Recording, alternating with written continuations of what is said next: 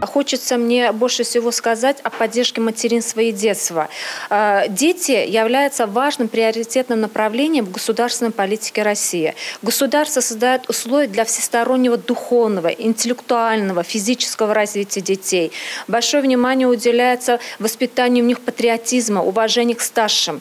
Государство берет на себя обязательства воспитания и содержания детей, которые остались без попечения родителей. Также необходимо отметить, что защита защита семьи, материнства, отцовства и детства является важным направлением для государства. И защита института семьи как союза мужчин и женщин. И необходимо сказать, что на сегодняшний день в самих поправках говорится очень много по воспитанию детей именно в семье.